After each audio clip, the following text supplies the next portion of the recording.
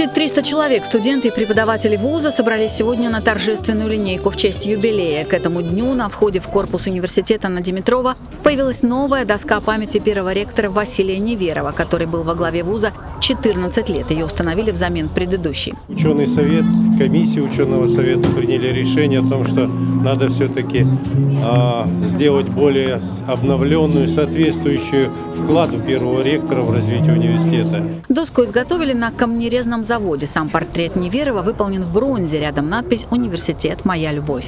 Скульптор Михаил Кульгачев рассказывает, что очень старались успеть к юбилею вуза. Получилось. Фотография была сложная, она была фасовая фотография. Мне пришлось э, уже до, до, додумывать, как он будет три четверти. Пришлось немножко по, вот в этом плане поработать.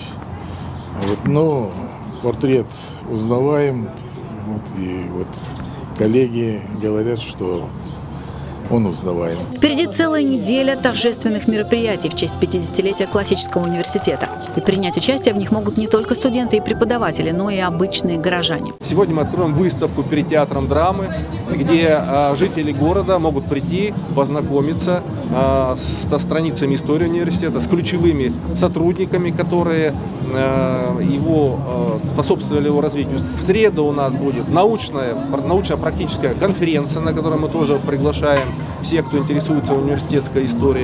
Уже завтра в ВУЗе будут презентовать целую серию юбилейных изданий. В сам день рождения, 25 мая, пройдет заседание ученого совета, а в пятницу днем в университете ждут выпускников. Их ни много ни мало 90 тысяч человек. Праздничная программа продолжится концертом, куда приглашают всех желающих. Масштабное мероприятие состоится в Титов-арене. Татьяна Голубева, Дмитрий Денисов. День с толком.